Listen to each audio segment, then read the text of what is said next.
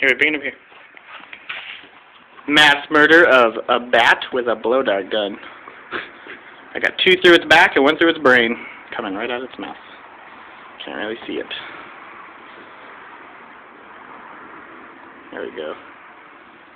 Little bat, guts hanging out, about to drop on the floor. Boom.